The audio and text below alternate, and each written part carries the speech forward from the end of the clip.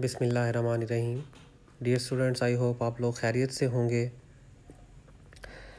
तो आज हम अपने नेक्स्ट लेक्चर की तरफ़ चलते हैं। लास्ट लेक्चर में हमने जो इम्पोर्टेंट चीज़ देखी थी, वो ये देखी थी कि अगर हमारे पास ए और थीटा गिवन हो तो हम ए एक्स भी फाइंड कर सकते हैं और ए वाई भी। मतलब कि दोनों कंपोनेंट्स हम फाइंड कर सकते हैं, अगर ए और थीटा गिवन हो।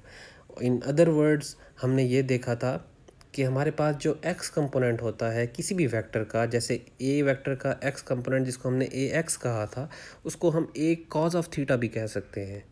और जो हमारे पास वेक्टर a का y कंपोनेंट होता है, उसको, जिसको हमने ए वाई कहा था, उसको हम ए साइन ऑफ़ थीटा भी कह सकते हैं। ये हमने पिछले टॉपिक के अंदर बड़े डिटेल से देखा था। अब हम अपने मेन टॉपिक की तरफ़ जाते हैं, जो कि था प्रोडक्ट ऑफ़ टू वेक्टर्स अब इसमें हमारे पास दो किस्म के प्रोडक्ट्स होते हैं। एक, जब हम दो वेक्टर्स को मल्टीप्लाई करें और आंसर स्केलर क्वांटिटी आ जाए तो उसको हम कहते हैं स्केलर आर डॉट प्रोडक्ट और जब हम दो वेक्टर्स क्वांटिटी को मल्टीप्लाई करें और हमारे पास जो आंसर है, वो वेक्टर क्वांटिटी आ जाए तो उसको हम कहते हैं वेक्टर और क्रॉस प्रोडक्ट दोनों को डिटेल में देखते हैं।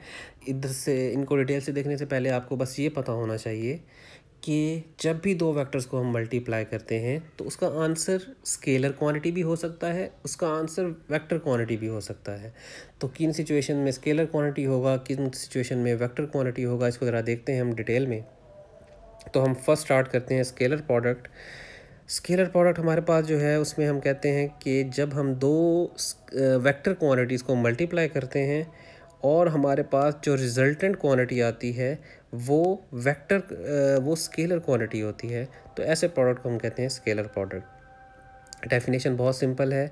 When the product of two vectors result into scalar quantity मतलब कि दो वेक्टर्स का प्रोडक्ट है और आंसर में क्या मिल रही है? स्केलर क्वांटिटी मिल रही है।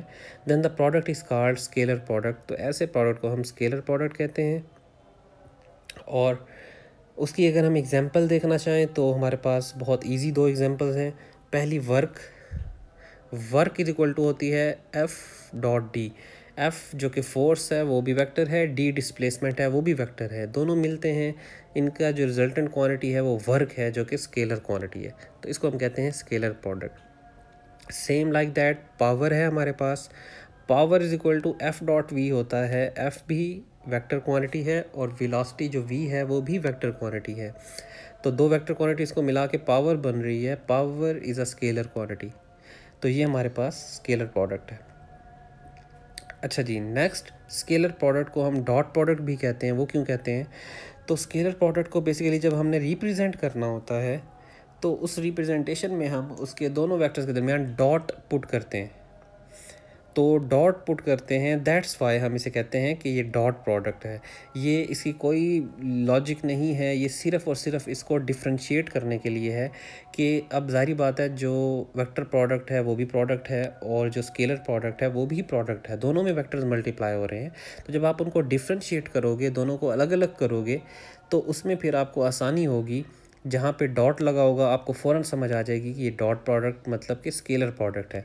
जहाँ पे क्रॉस लगा होगा, वो हमारे पास वेक्टर प्रोडक्ट होता है, वो जो हम नेक्स्ट इसके बाद देखेंगे।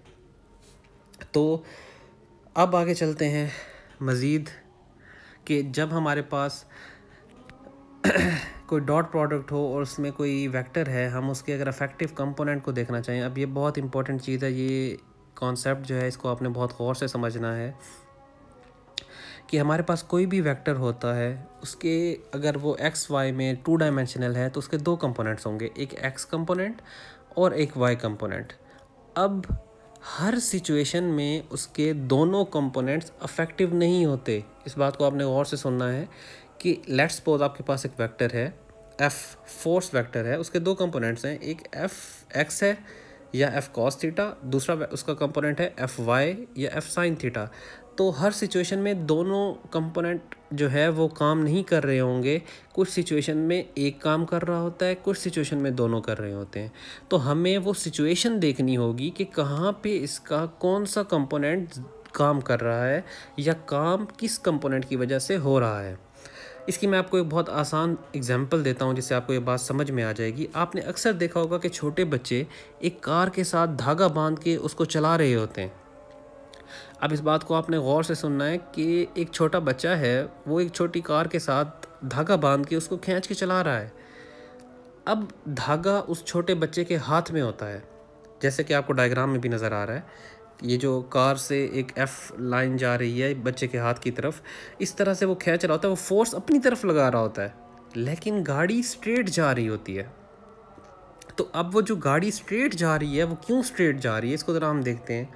इसको डिटेल से, कि अब फोर्स उसने लगाई बच्चे ने, वो मैंने इस डायग्राम में ड्रा कर दी है, ये डायग्राम आपको नज़र आ रही होगी। इसके अंदर अब फोर्स लग रही है बच्चे के हाथ की तरफ़, लेकिन गाड़ी स्ट्रेट जा रही है। ये जो डी लिखा हुआ है, ये डिस्प्लेसमेंट है मतलब कि गाड़ी का डिस्प्लेसमेंट स्ट्रेट है। तो अब हम देखते हैं कि इसमें स्ट्रेट डिस्प्लेसमेंट क्यों है। एक्चुअली में हुआ ये कि जो फोर्स है, उसके हमने कंपोनेंट्स ड्रा किए। उसके दो कंपोनेंट बने। एक उसका कंपोनेंट जो एक्स एक्सिस पे उसका प्रोजेक्शन पड़ा, वो था एफ़ कॉज ऑफ़ थीटा एक उसका साया पड़ा वाई एक्सिस पे, जो था F sine theta F sine theta की डायरेक्शन स्ट्रेट ऊपर की तरफ़ है और एफ़ कॉस थीटा की राइट साइड की तरफ़ डायरेक्शन है। ये आपको डायग्राम में ये बात नज़र आ रही है। अब आप ये देखें कि एफ़ कॉस थीटा और एफ़ साइन थीटा ये दो कंपोनेंट्स हैं। लेकिन इन दोनों में से कौन सा अफेक्टिव है? अफेक्टिव का मतलब जिसका असर हो रहा हो।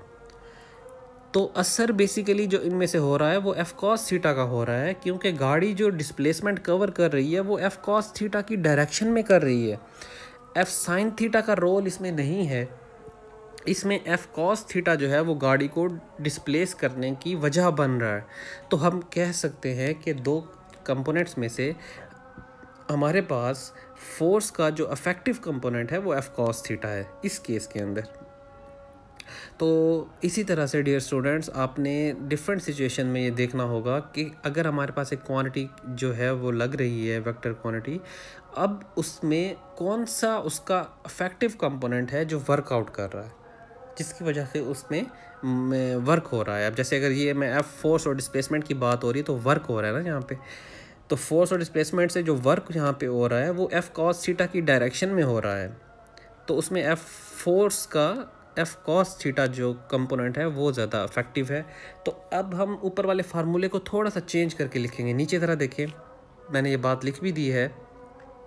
F cos theta is effective component of force because displacement is in the direction of F cos theta कि एफ़ कॉस थीटा जो है वो इफ़ेक्टिव कंपोनेंट है फोर्स का, क्योंकि डिस्प्लेसमेंट जो हो रही है वो एफ़ कॉस थीटा की डायरेक्शन में हो रही है।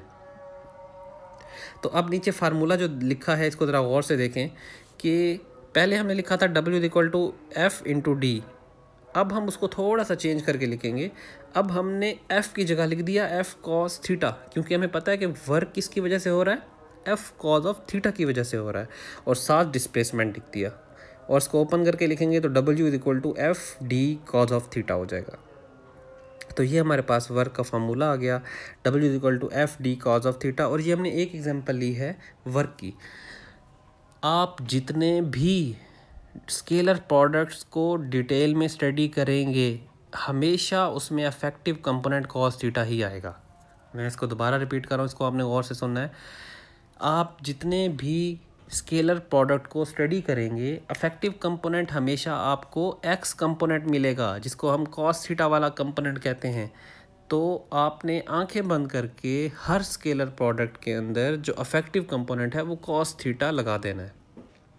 तो इसी तरह से हमारे पास जो डब्ल्यू वर्क बना, वो F D cos of theta है। इसी तरह से पावर आप देखिए, वो F V cos of theta बन जाएगी। तो जब भी आपने कोई स्केलर प्रोडक्ट डिस्कस करना है, उसमें हमेशा जो अफेक्टिव कंपोनेंट होगा, वो कॉस थीटा होगा। और एक जनरल वेक्टर्स को आगे अब हमने इसी करेक्टरिस्टिक की तरफ़ जाना है तो करेक्टरिस्टिक्स जो है, वो हम जनरल फॉर्म में पढ़ेंगे। जनरल फॉर्म में हम देखेंगे कि एक ए वेक्टर है, एक बी वेक्टर है। उनमें अगर हम डॉट प्रोडक्ट लें तो क्या सिचुएशन होगी? उसके अकॉर्डिंग हमने आगे करेक्टरिस्टिक पढ़नी है तो जनरल फॉर्म भी मैंने एंड में लिख दिया है। A dot B that mean जिससे ऊपर डब्ल्यू इज़ इक्वल टू था F dot D is equal to आ गया F D cos of theta ऐसे ही अगर दो वेक्टर ए और बी हों, कोई से भी दो वेक्टर ए और बी उनका डॉट प्रोडक्ट लें तो वो इक्वल होगा A B cos of theta इस A B cos of theta में ए क्या चीज़ है? वो है मैग्नीट्यूड ऑफ़ वेक्टर ए इसमें जो बी है, वो है मैग्नीट्यूड ऑफ़ वेक्टर बी और इसमें जो थीटा है थीटा बेसिकली क्या है? थीटा है angle between A and B आप ए और बी दो वेक्टर्स को जब ड्रॉ करेंगे इकट्ठे तो उन दोनों में क्या एंगल बन रहा है, वो थीटा हमें शो करेगा। तो ये तीन चीज़ें पता होनी चाहिए डॉट प्रोडक्ट फाइंड करने के लिए। A dot B is equal to A B cos of theta A magnitude of A vector B magnitude of B vector और theta angle between A and B के ए और B में कितना angle बन रहा है। तो ये चीज़ें पता होनी चाहिए, फिर हम इसमें स्केलर प्रोडक्ट फाइंड कर सकते हैं।